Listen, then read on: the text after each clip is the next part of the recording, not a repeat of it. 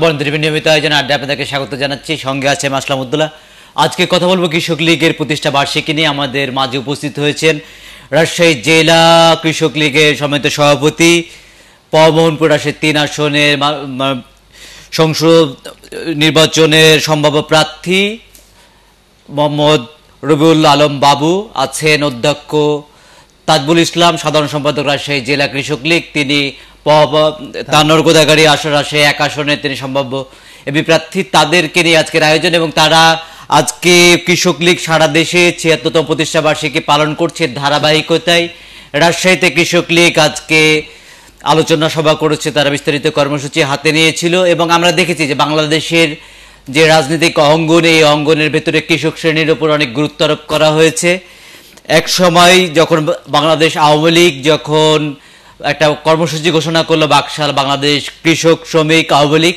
তাদের কর্মসূচির ভিতরে কৃষক লীগ ছিল এবং আওয়ামী লীগের অন্যান্য অঙ্গ সংগঠনের চেয়েও কৃষক লীগ একটু ভিন্ন ধারায় দেখা হয়। এর ভেতর থেকে কৃষক লীগ আজকে ছিয়াত্তরতম প্রতিষ্ঠা বার্ষিকী পালন করল। এই প্রতিষ্ঠা ছিচল্লিশতম। সেই প্রতিষ্ঠা বার্ষিকীতে কি ধরনের নতুন সম্ভাবনার কথা বললেন রবিউল আলম বাবু? আসলে আহ, প্রথমেই ধন্যবাদ জানাব আমি আজকের এই অনুষ্ঠানের উদ্যোক্তা আয়োজক ভারন্দ টিভি অনলাইন চ্যানেলকে এবং আজকে আমার ছোট ভাই আজকে উপস্থাপক আসলাম উদ্দৌলার প্রশ্নের জবাবে আমি এইটুকুই বলব যে আজকে ছেচল্লিশতম প্রতিষ্ঠা বার্ষিকী উপলক্ষে আমরা আলোচনা সভা করেছি। আলোচনা সভায় আমরা বক্তারা যে আলোচনা করেছে, আমি এই অনুষ্ঠানের সভাপতিত্ব করেছি, সেখানেও আমরা যে আলোচনাগুলো নিয়ে আসছি। আমরা জানি যে আমাদের দেশ হচ্ছে কৃষি নির্ভর দেশ, কৃষকের দেশ গ্রাম ভিত্তিক এই বাংলাদেশ। এখানে আমার নেতা, বঙ্গবন্ধু শেখ মুজিবুর রহমান, সবসময় উনি বলতেন, যদি বাংলার ভাগ্যের পরিবর্তন আনতে হয়, করতে হয়, তাহলে কৃষকের ভাগ্যের পরিবর্তন আনতে হবে। এই কারণে যে বৃহত্তর জনগোষ্ঠী এই গ্রামে বসবাস করে এবং তাদের প্রধান পেশা হচ্ছে কৃষি তো যেখানে সংখ্যাগরিষ্ঠ মানুষ এই পেশায় যুক্ত আছে, আজকে তাদেরকে বাদ দিয়ে কোনো দেশের অগ্রগতি বা অন্য উন্নতি হতে পারে না, সেটা বঙ্গবন্ধু বারবার বলেছিলেন। আমরা সেটা দেখেছি, উনি স্বাধীনতার আগেও যেমন বলেছিলেন যে, তোমরা আমাকে স্বাধীনতা দাও, আমি সমৃদ্ধ, সুখী সমৃদ্ধ স্বপ্নের সোনার বাংলাদেশ দিব। উনি সদ্য স্বাধীন বাংলাদেশে দায়িত্বপ্রাপ্ত হওয়ার পরও আমরা দেখেছি যে সেটারই উনি বাস্তবায়ন করার চেষ্টা করেছে। বাংলাদেশের অগ্রগতি, উন্নয়নের কথা যখনই ভেবেছেন, তখনই ওনার মাথায় এসেছেন বৃহত্তর জনগোষ্ঠী এই পেশায় যুক্ত আছে।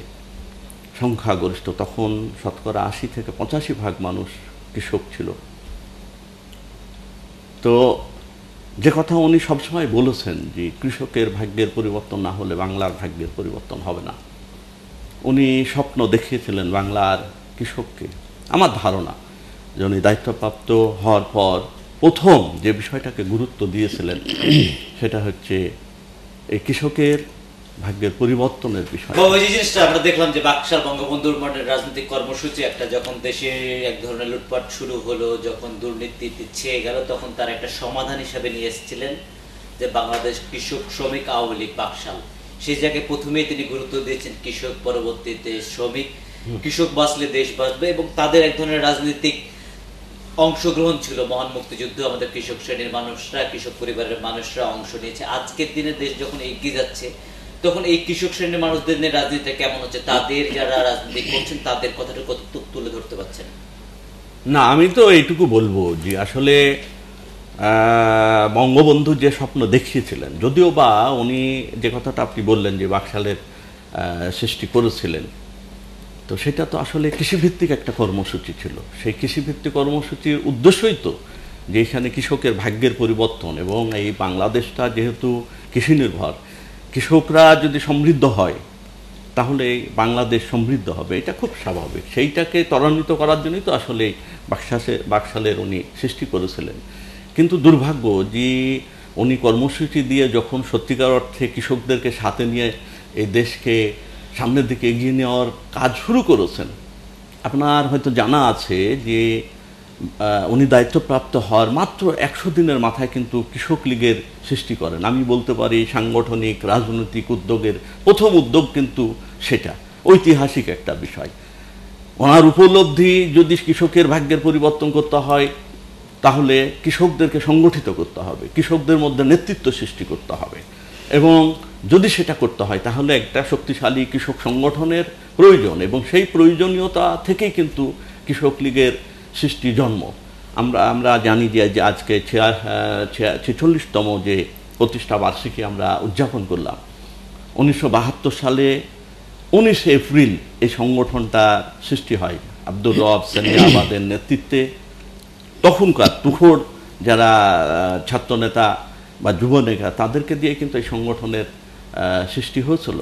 আমির হোসেন আমু, তৎকালীন প্রয়াত পানি সম্পদ মন্ত্রী আব্দুর রাজ্জাক, ফণিভূষণ মজুমদার, তারপরে বর্তমানে যে তথ্যমন্ত্রী হাসানুল হক ইনু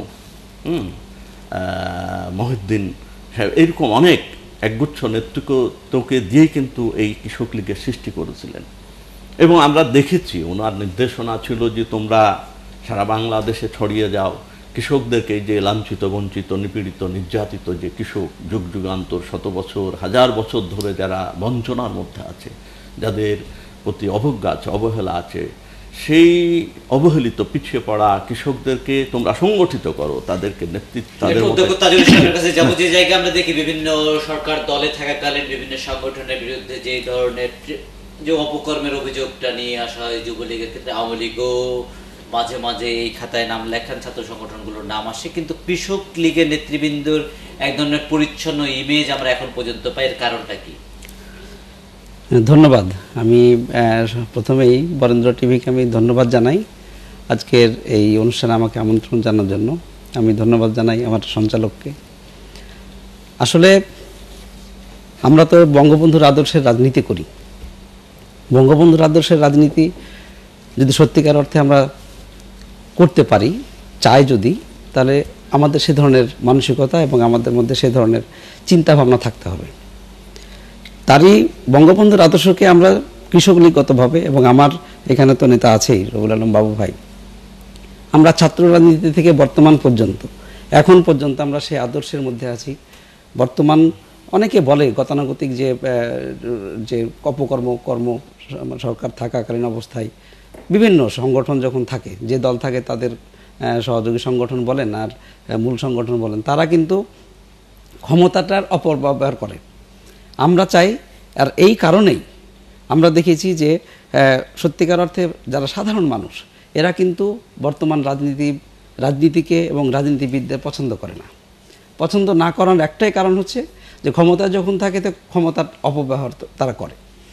আমরা সেই জিনিসটাকে আমরা ধারণ করেছি যে না, সত্যিকার অর্থে যদি মানুষের ভালোবাসা, মানুষের কাছে যাওয়ার যদি আমরা সুযোগ পাই, তাহলে আমাদেরকে এই পরিচ্ছন্ন রাজনীতিটা করতে হবে। এবং পরিচ্ছন্ন রাজনীতির একমাত্র উপায় হচ্ছে বঙ্গবন্ধুর আদর্শকে ধারণ করে রাজনীতি করা। সেই ক্ষেত্রে আমরা প্রথমে আমরা দেখেছি যে কৃষক যেহেতু কৃষক সংগঠন, আমরা করি কৃষক লীগের নেতাকর্মী এবং আমার যারা আছে, তারা আসলে অন্যান্য মানুষদের, অন্যান্য শ্রেণি পেশার মানুষের যেভাবে করাপ্টেড হয়, আমার কৃষক মানুষ কিন্তু সে ধরনের করাপ্টেড না। বঙ্গবন্ধু কিন্তু নিজেই বলেছিলেন জাতীয় সংসদে সংসদে বলেছিলেন যে আমার করাপশন কিন্তু আমার কৃষকরা করে না। মুষ্টময় আমরা যারা এই টোয়েন্টি পার্সেন্ট মানুষ আছি, আমরা এই টোয়েন্টি পার্সেন্ট মানুষের মধ্যে করাপশন আছে।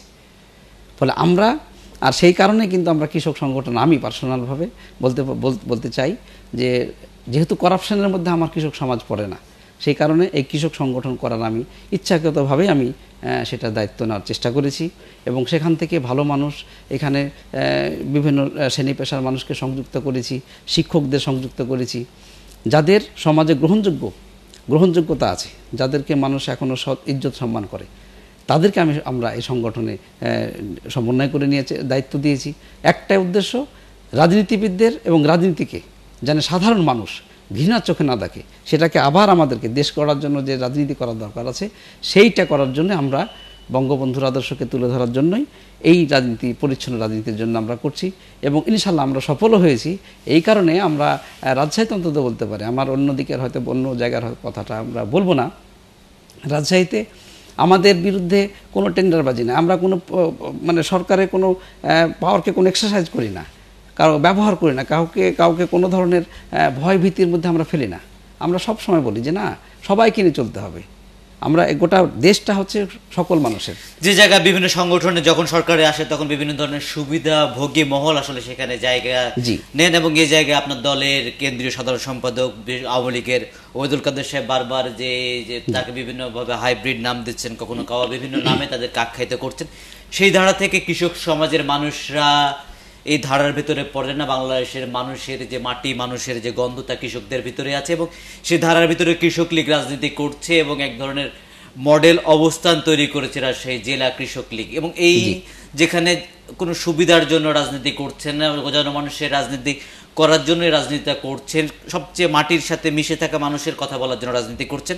এই জায়গা থেকে আপনারা কতটুকু সুবিধা পাচ্ছেন যখন বিভিন্ন ধরনের সুবিধাবাদী মহল এক ধরনের রাজনীতি ক্ষমতার ব্যবহার বলেন, অপব্যবহার বলেন বা চর্চা বলেন, সেই জিনিসটার তারা অব্যাহতভাবে করে যাচ্ছে মানুষ বিক্ষুব্ধ এর ভিতরে কৃষক লীগের রাজনীতিটা কতটুকু ভাবে করতে পারছেন, গণমানুষের কথা কতটুকু তুলে ধরতে পারছেন? বাবু ভাই। হ্যাঁ এটা তো একটা বিষয় আছেই যে আসলে যে গতানুগতিক যে ধারা, এবং সেটা তো আমরা ভালো কিছু বলি না, ভালো কিছু মনে করি না। এটা তো একটা খারাপ প্রবণতা রাজনীতিতে। সন্ত্রাস, অরাজকতা, অন্যায়, অত্যাচার, নির্যাতন, জুলুম এবং ধরেন যে টেন্ডারবাজি, চাঁদাবাজি, চাকরির নামে টাকা পয়সা নেওয়া, তারপরে আপনার এই জমি দখল, গাড়ি দখল, বাড়ি দখল, হাট দখল, এই সব যে প্রবণতা, তার বিরুদ্ধে দাঁড়িয়ে রাজনীতি করা তো অনেক কঠিন। কথা সত্য যে এই কঠিন কাজটা করতে পারলে তো স্বাভাবিকভাবেই সাধারণ মানুষের তো মন জয় করা সম্ভব বা মন জয় করা যায়। কিন্তু আমরা তো মনে করি যে আসলে বাংলাদেশের মানুষ তো সবাই মানে করাপ্টেড হয়ে যায়নি দুর্নীতিবাদ হয়ে যায়নি, সবাই তো আর টেন্ডারবাদ হয়ে যায়নি। খুব মুষ্টিমেয় কিছু মানুষ এই কাজগুলো করে থাকে। যদিও বা তাদের কর্তৃত্ব আছে, প্রাধান্য আছে, তাদের নেতৃত্ব আছে এটার বিরুদ্ধে কথা বলা, রাজনীতি করা হ্যাঁ সংগঠন করা, এটা সত্যি একটা কষ্টকর এবং কঠিন একটা কাজ। তারপরও আমি মনে করি যে আমরা বঙ্গবন্ধুর আদর্শ ধারণ করে আমরা কিন্তু সেই রাজনীতি করার চেষ্টা করেছি। আমি ব্যক্তিগতভাবে রাজনীতি মানে তো এই টেন্ডারবাজি, চাঁদাবাজি, এটা বুঝি না। আমি রাজনীতি মানে বুঝি মানুষের সেবা, মানুষের কল্যাণ, দুঃখী মানুষের পাশে দাঁড়ানো। সমাজ সভ্যতা, অগ্রগতির পথে ভূমিকা রাখাই তো আমি রাজনীতি বুঝি। এখানে আমি বলতে চাই, কৃষিভিত্তিক কৃষি নির্ভর বাংলাদেশ, কৃষকের বাংলাদেশ। বৃহত্তর জনগোষ্ঠী আজকে কৃষক। আমরা যদি মনে করে থাকি যে সত্যিকার অর্থেই যুগ যুগান্ত শত বছর ধরে তারা লাঞ্ছিত, বঞ্চিত, নিপীড়িত, আমি যদি বুঝে থাকি রাজনীতি মানে মানুষের কল্যাণ, মানুষের সেবা, দুঃখী মানুষের পাশে দাঁড়ানো, আমরা তো সেই রাজনীতি করার চেষ্টা করেছি। আমাদের গ্রেডের আমি দাবি করতে পারি যে আমি দীর্ঘ সময় রাজনীতি করি, আমি স্বৈরাচার বিরোধী আন্দোলন, আশির দশকের অন্যতম ছাত্রনেতা, দু একজনের নাম বললে মনে হয় আমাদের নাম আসে, বলতে হয়। আমরা কিন্তু সেই দিক থেকে অনেক বিখ্যাত। আমরা তো হাজার ঘটনার নায়ক বলতে পারেন। তো সেই আমার গ্রেডের মানুষেরা কৃষক সংগঠন করে নাকি? কৃষকরা যেহেতু অবহেলিত যেভাবে, ঠিক একইভাবে কৃষক রাজনীতি যারা করে, তারাও তো অবহেলিত। আমরা এই দুঃসাহসিক সিদ্ধান্ত নিয়ে কৃষকদের পক্ষে আমরা দাঁড়িয়ে আমরা কৃষক রাজনীতি করছি। এবং আমরা তো স্বপ্ন দেখি, সত্যিকার অর্থে। বঙ্গবন্ধু যে স্বপ্ন দেখিয়েছেন, সেই স্বপ্ন তো আমরা দেখি। বঙ্গবন্ধু খুব অল্প সময়ের মধ্যে জানেন যে মাত্র সাড়ে বছরের শাসন তাকে তো স্তব্ধ করে দেওয়া হয়েছিল থামিয়ে দেওয়া হয়েছে। কৃষকরা সে সময় যে স্বপ্ন দেখেছিল ঘুরে দাঁড়িয়েছিল কৃষকরা আশায় বুক বেঁধেছিল সেই স্বপ্ন আশা তো সেই দিন ধূলিসাৎ হয়েছিল। সেদিন বঙ্গবন্ধুকে হত্যার মধ্যে দিয়ে তাদের স্বপ্নকেও তো হত্যা করা হয়েছিল। আজকে যে কৃষকদের নিয়ে সম্ভাবনা ছিল যে স্বপ্নটা ছিল এবং যে মানুষটা বাংলাদেশ সৃষ্টি করল সে মানুষ প্রয়োজন মনে করেছে বাংলাদেশের আগামী দিনের রাজনীতি যে স্বাধীন ভূখণ্ডে একশো দিনের মাথায় যে সংগঠনটা সৃষ্টি করলেন এবং বলিষ্ঠ নেতৃত্ব ছিল বিভিন্ন রাজনৈতিক অঙ্গনে তারা নেতৃত্ব দিত, সেই অতীত আজকের দিনে কৃষক লীগের সেই শক্ত অবস্থানটা কি কারণে মৃণমান হয়ে গেল বলে মনে করছেন তাজুল ইসলাম। আসলে মৃণমান ঠিক হয়নি এখন আগের দিনে যেভাবে করে হ্যাঁ। আপনার আওয়ামী লীগকে যুবলীগকে যেভাবে করে সংসদ সদস্য আপনার দুইজনে যোগ্য নেতা দুইজন দুইটি আসন থেকে মনোনয়ন প্রত্যাশা করছেন আপনার এলাকায় জনসংযোগ চালাচ্ছেন কিন্তু আজকের দিনে সারা বাংলাদেশ বা কৃষক লীগকে যে ধরনের করে সুযোগ সুবিধা দেওয়ার কথা ছিল বা যারা যোগ্য নেতা আছেন তাদেরকে জনমানুষের কথা বলতে পারবেন তাদেরকে মনোনয়ন দেওয়ার যে প্রক্রিয়াটা ছিল এখন তো তুলনা করলে পারে স্বেচ্ছাসেবক লীগ যতটি মানে মনোনয়ন পান কৃষক লীগ তো বোধহয় তার চেয়ে মানে খুব বেশি পান না, কিন্তু আগামী মানে যে এই কথাটা বলছি, আগে তো এই ইতিহাসটা ছিল না। না, ধন্যবাদ। আসলে আমরা সেইটাই চেষ্টা করছি যে যাতে করে বঙ্গবন্ধু যেটা চেয়েছিলেন যে গ্রামভিত্তিক যে বাংলাদেশ, সেখানে আমার আশি ভাগ মানুষ যেখানে কৃষক, এদের মধ্যে যদি নেতৃত্ব সৃষ্টি করা যায়, তাহলেই বাংলাদেশকে কোনোভাবেই দাবিয়ে রাখা যাবে না।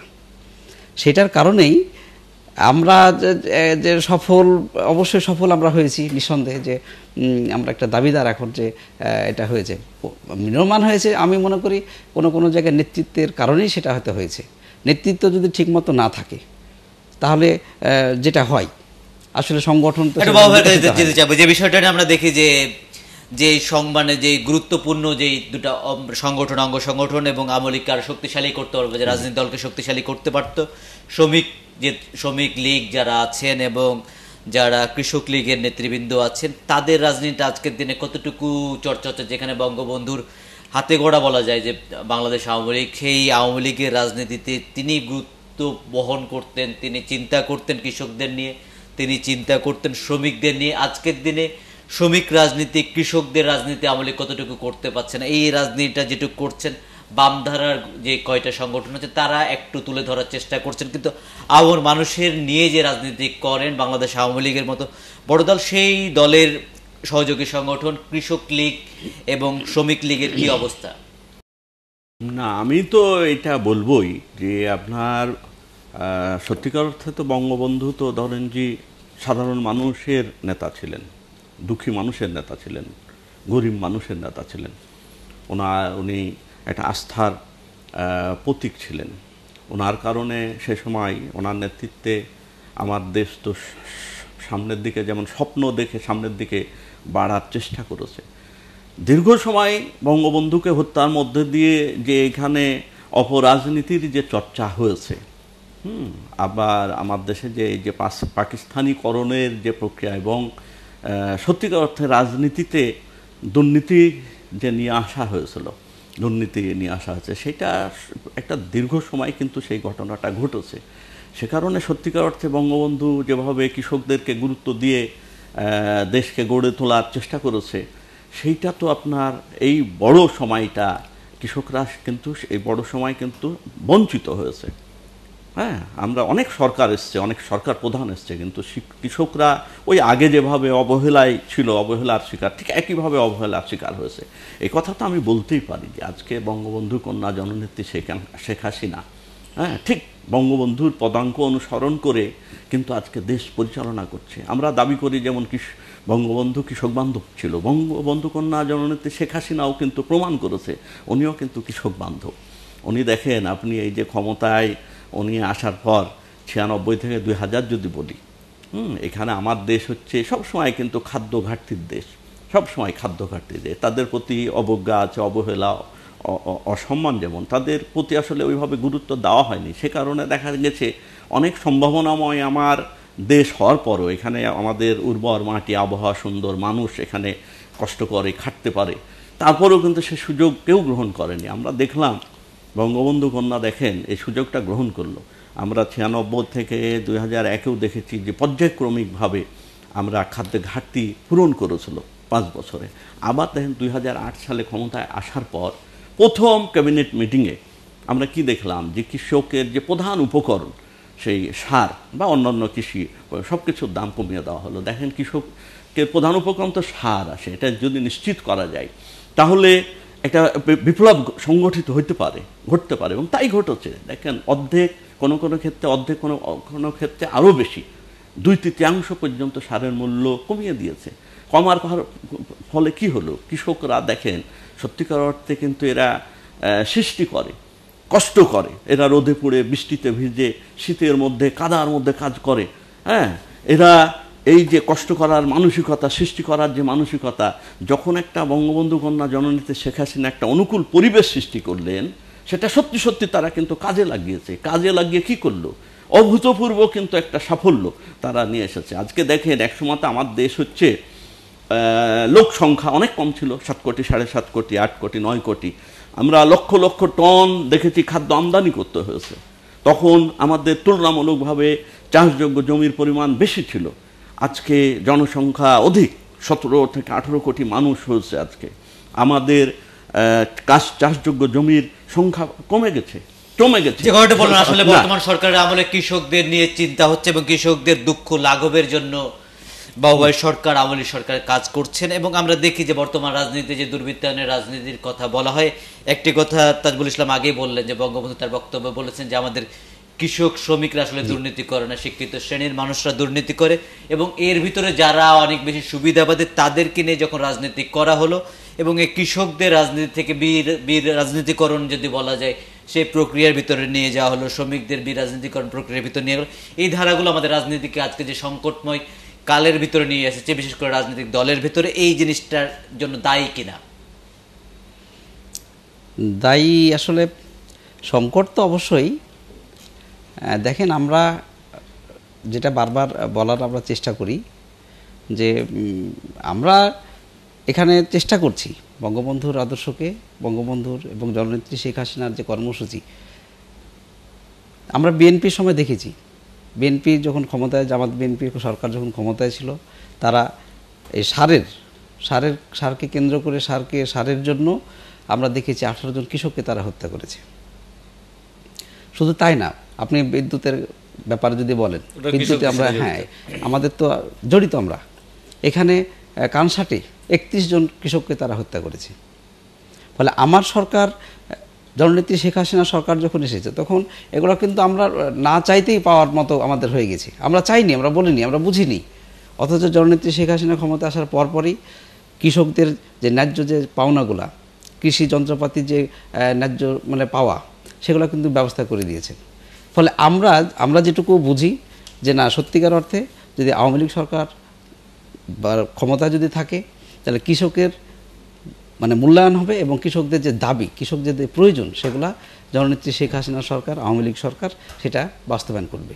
এটা বলে আমার বিশ্বাস। বাবু ভাই, যেটা বাংলাদেশকে এখন বলা হচ্ছে দক্ষিণ এশিয়া, রয়্যাল বেঙ্গল, টাইগার, বিশেষ করে অর্থনৈতিক খাতে এবং এই জায়গায় যখন বাংলাদেশ এগিয়ে যাচ্ছে সমৃদ্ধির পথে হেঁটে যাচ্ছে সেই সেই জায়গায় শিল্প কিছু খাত নিয়ে তারা কাজ করছে আইটি সেক্টরের এক ধরনের করে সুযোগ আছে, সেই সুযোগটা কাজে লাগানো হচ্ছে। আমাদের যারা প্রবাসী ভাইয়েরা আছেন, তারা রেমিটেন্স পাঠাচ্ছেন, আমাদের অর্থনৈতিক চাকরিকে সচল করছে। কিন্তু বাংলাদেশ যে আশি ভাগ কৃষক ছিল, তাদেরকে নিয়ে বাংলাদেশের অর্থনীতির যে ধরনের প্রবৃদ্ধি আছে, সেই প্রবৃদ্ধিকে আরও গতিশীল করার জন্য কোনো উদ্যোগ বা কোনো কর্মসূচি কৃষক লীগের আছে কিনা, আমরা দেখি যুবলীগের একটা আলাদা প্যাটার্নের একটা কর্মসূচি আছে এবং আমরা দেখেছি যে যেই উচ্চ পর্যায়ে যারা আসলে বিভিন্ন রাষ্ট্রের নীতি নির্ধারণের পর্যায়ে যে কর্মকর্তা বিন্দু আছেন, তারা শ্রমিক শ্রেণির বা কৃষক শ্রেণি থেকে অনেক বেশি দূরের মানুষ। সেই জায়গায় এই যে ঘাটতিটা আছে, এই ঘাটতি পূরণের জন্য কৃষক লীগের কোনো বলিষ্ঠ ভূমিকা বা কোনো কণ্ঠস্বর আমাদের সামনে ধ্বনিত হবে কিনা?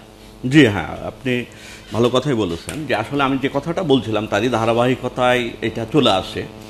আমি যেটা বলার চেষ্টা করেছিলাম যে দেখেন, লোক সংখ্যা কম, কিন্তু খাদ্যর ঘাটতি, লক্ষ লক্ষ টন। আমাদের লোক সংখ্যা বেড়েছে।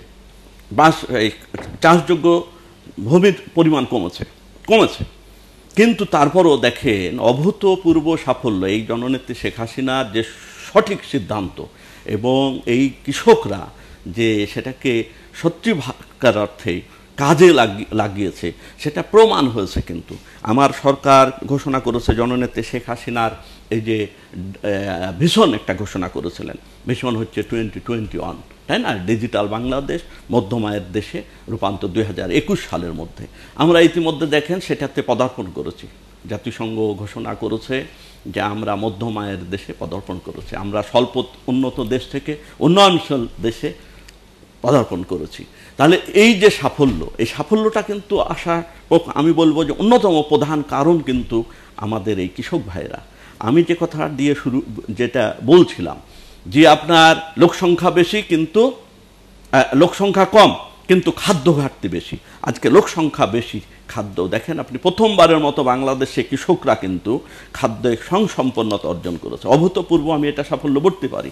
আমরা তো একটা সংকট দেখি যে এক সময় যখন চালের দামটা বেড়ে যায় জনমানুষ বিক্ষুব্ধ হয়। আবার যদি আপনি চাল বা সবজির দাম কমিয়ে দেন তাহলে কৃষক যে তার ভোগান্তির ভিতরে পড়বে এই যে এক ধরনের বিপরীতমুখী এক ধরনের উত্তাপ কাজ করে এবং এই জায়গায় বোধের জায়গায় নিয়ে আসার জন্য রাজনৈতিক নেতৃবৃন্দদের বা যারা সরকারের কর্তা ব্যক্তি আছেন মন্ত্রী মহোদয় আছেন তাদের কি ধরনের সচেতনামূলক উদ্যোগ আপনার চোখে পড়ে এটা একটা ইম্পর্টেন্ট আপনি প্রশ্ন তুলেছেন। আমি মনে করি যে আসলে এই যে আমরা ধরেন যে খুব কষ্ট করে কৃষকরা উৎপাদন করে হ্যাঁ? তো উৎপাদিত পণ্যের তার ন্যায্য মূল্য পাওয়ার অধিকার আছে, তার অধিকার আছে এবং সেটা নিশ্চিত করতে হবে। আমি তো মনে করি যে এইটা আসলে বাজার ব্যবস্থার অব্যবস্থার কারণে এই যে সমস্যাগুলো সৃষ্টি হয় হ্যাঁ? সেটা বাজার যদি ব্যবস্থা আমরা সেভাবে সৃষ্টি করতে পারি, মানুষের মধ্যে সচেতনতা, একটা সিস্টেম ডেভেলপ করতে পারি তাহলে এটা আর অনেকখানি আমরা নিরসন করতে পারি। আমরা জানি যে বিশেষ করে আমি বলতেই পারি বিভিন্ন অনুষ্ঠান প্রোগ্রামে আমি দেখেছি যে এমন অনেক উন্নত দেশ আছে যেখানে কৃষকরা তার উৎপাদিত পণ্যের মূল্য নির্ধারণ করে দেয়। বাজারে নির্ধারণ করে সেটা আপনার বিক্রি করা হয়। কিন্তু আজকে আমাদের যে কৃষকরা হ্যাঁ একটা ঝুঁকি নিয়ে কিন্তু উৎপাদন করে। সেটা বাজারে যায় কি দাম থাকবে কি থাকবে না আজকে দেখেন আপনি বিভিন্ন চাষিরা আলু চাষির কথাই যদি বলি কয়েক বছর ধরে তারা পর পর কিন্তু তারা ক্ষতিগ্রস্ত হচ্ছে মার খাচ্ছে হ্যাঁ আমরা কিছুদিন আগে দেখেছি যে ধান উৎপাদন হয়েছে উৎপাদিত যে খরচ আমরা তো এও শুনি যে আপনার হ্যাঁ। কোল্ড স্টোরে আলু তারা স্টক করে রেখে রেখেছে সেখানে কোনো সংযোগই চালনায় এই ধরনের ঘটনাও ঘটেছে। যে অধিকারটা নানান ধরনের অব্যবস্থার এই কৃষকরা শিকার হয়েছে এটাই সত্য কথা। আমি বলব যে আসলে আহ, উন্নত সমাজ উন্নত রাষ্ট্র আমরা যে দিকে যাচ্ছি আর কি আমাদের সরকার ঘোষণা করেছে ইতিমধ্যেই যে আপনার যে সেকেন্ড যে দ্বিতীয় ভীষণ যেটা দুই হাজার একুশ সালে একচল্লিশ সালে দুই হাজার একচল্লিশ সালে উন্নত সমৃদ্ধ দেশ সেই জায়গাতে আমাদেরকে যেতে গেলে এই বিষয়গুলা খুব গুরুত্বের সঙ্গে বিবেচনায় নিতে হবে। আজকে দেখেন যে অন্যান্য সেক্টর সবার কিন্তু নিশ্চয়তা আছে। চাকরি বলেন ব্যবসা বলেন অন্য শ্রেণি পেশার মানুষ। কিন্তু আমার কৃষক ভাইদের ক্ষেত্রে সেই ধরনের কোনো কিন্তু নিশ্চয়তা থাকে না। হ্যাঁ আবার অনিশ্চিত একটা বাজার ব্যবস্থা, এখানে অনেক ধরনের সিন্ডিকেট কাজ করে, অনেক ধরনের অনিয়ম কাজ করে। হ্যাঁ সেখানে খুব ঝুঁকি নিয়ে তাদেরকে এই কষ্টসাধ্য যে ঝুঁকির ভিতরে। কৃষকরা তাদের। এদের চেয়ে পরিশ্রমী মানুষ আসলে নাই যারা যেভাবে করে সংগ্রাম করে আমাদের দেশটাকে এগিয়ে নিচ্ছে এবং এই কৃষকরা আজকের দিনে বাংলাদেশ আওয়ামী লীগ সরকারের যে নয় বছরে পা দিয়েছে এই নয় বছরের ভিতর তারা আসলে কেমন আছে এবং বড় একটা ভোট ব্যাংক কিন্তু কৃষক শ্রেণির যে ভোট ব্যাংকটা আছে এবং সেই ভোট ব্যাংকটা কতটুকু আওয়ামী লীগের দখলে বা আওয়ামী লীগের পক্ষে আছে বলে মনে করছেন এবং সামনের নির্বাচনে এই ভোটটা আসলে কোন দিকে যাবে এবং আপনাদের দিকে আসার কতটুকু প্রত্যাশা রাখেন? তাজুল ইসলাম।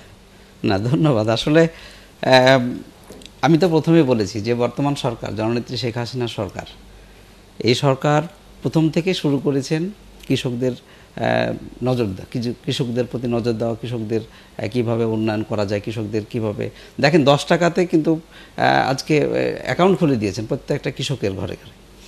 তো দখলে যদি বলা হয় বা এটা বলা- হয় যে ভোট, ভোটের যে বিষয়টা, আমি মনে করি যে কৃষকরা, কৃষক এবং গ্রাম বাংলার মানুষ, এরা কিন্তু ভুল করবে না। আমি প্রথমে যেটা বলেছি যে আসলে আমরা চাচ্ছি যে নেতৃত্বটাকে সঠিক করার। নেতৃত্ব যদি ঠিক থাকে ওরা হয়তো কিছু ভুলভ্রান্তি আমাদের নেতৃত্বের কারণে ভুলভ্রান্তি হতে পারে। তার মানে যে কৃষকরা আমাদেরকে বিমুখ হয়ে গেছে, আমাদের বিপরীতে চলে গেছে নৌকার আমাদের যে প্রতীকে তার বিপরীতে চলে গেছে, বিষয়টা তা না।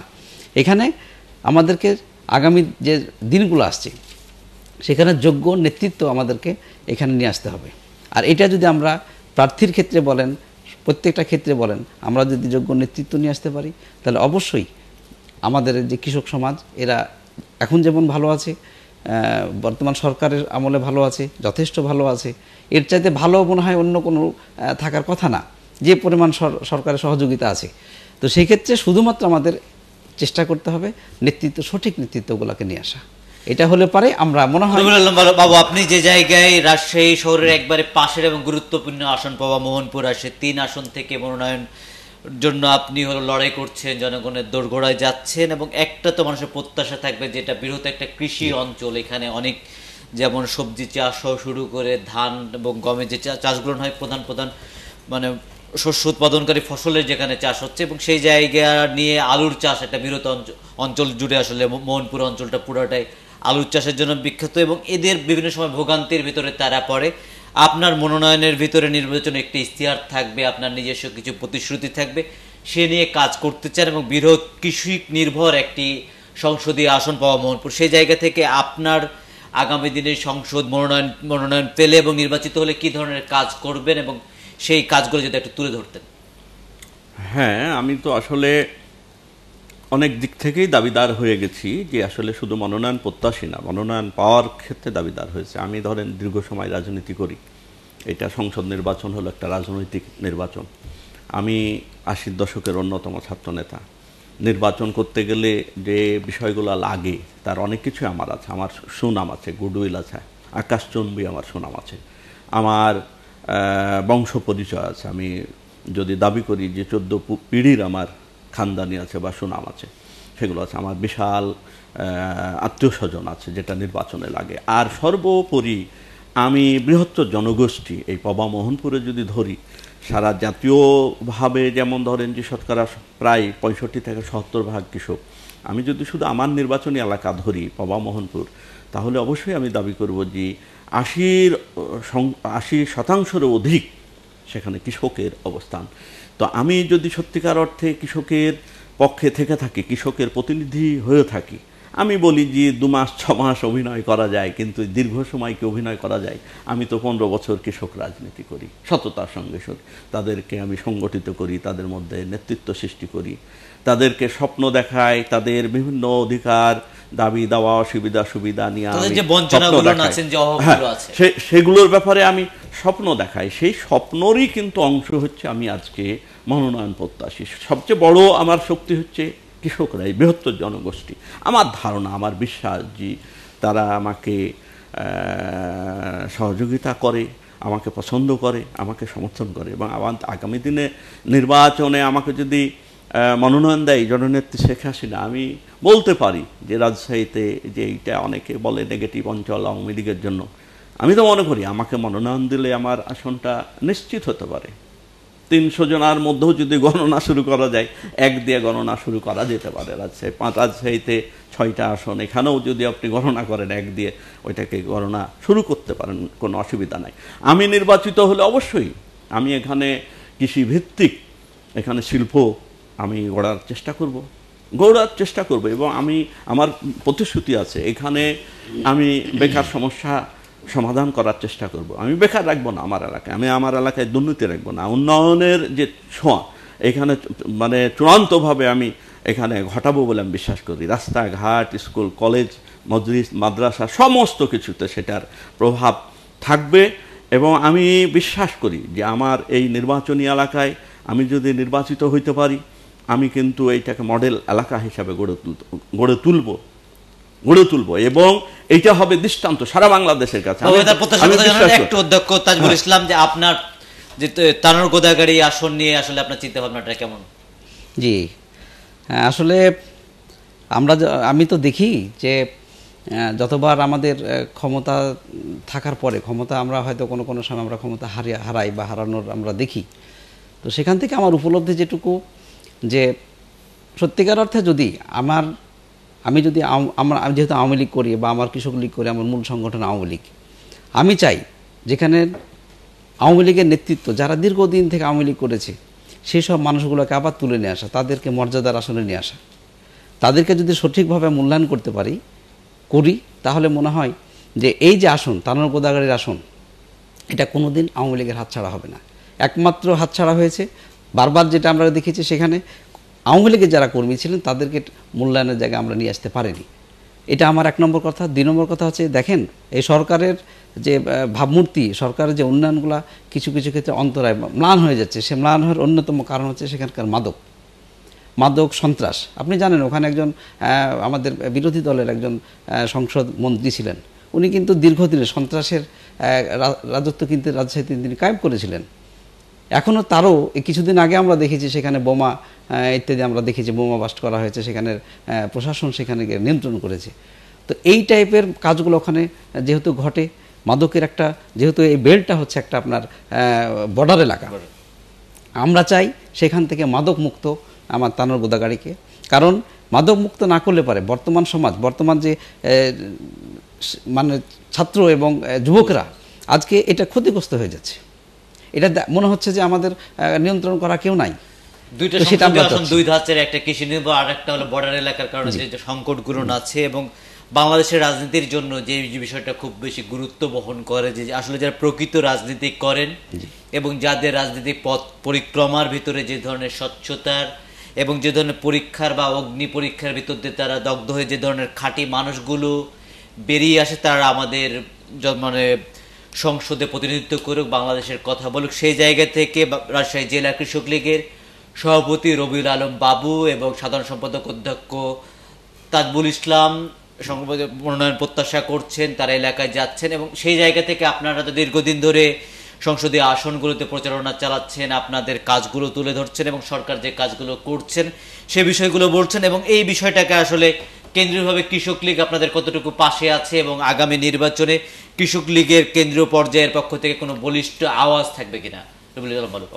অবশ্যই থাকবে। এখানে তো যারা কৃষক লীগের নেতৃত্বে আছেন, এটা তো এই ব্যাপারে তাদের ধরেন যে দৃঢ় প্রতিজ্ঞ যে আমাদের কৃষক লীগকে এই যে বর্তমান সরকার, জননেত্রী শেখ হাসিনার যে সরকার, যে কৃষক বান্ধব হিসাবে যে যে কর্মসূচিগুলো হাতে নিয়েছে এবং সত্যিকার অর্থে দেশকে অগ্রগতি উন্নয়নের যে পথে নিয়ে এসেছে, আজকে যে, যেটা বললাম আর কি, যে মধ্যমায়ের দেশে রূপান্তর করা, তারপরে স্বল্পোন্নত থেকে উন্নয়নশীল দেশের নিয়ে আসা, পাশাপাশি যে ভীষণ যেটা দেওয়া হয়েছে দু হাজার একচল্লিশ সালে আজকে উন্নত সমৃদ্ধ রাষ্ট্র গঠনের যে ক্ষেত্রে নেত্রী যেভাবে ভূমিকা নিয়েছে, সেটাকে তো আসলে সাপোর্ট করতে হবে। আমরা যারা মূল সংগঠন আছে বাংলাদেশ আওয়ামী লীগ তার সহযোগী সংগঠন ভাতৃপ্রতিম যে সংগঠন তারা যদি সহযোগিতা সর্বাত্মকভাবে না করে তাহলে তো আসলে সেই লক্ষ্যে পৌঁছানো কঠিন হবে। তা আমি বিশ্বাস করি আমার কৃষক লীগ সেটা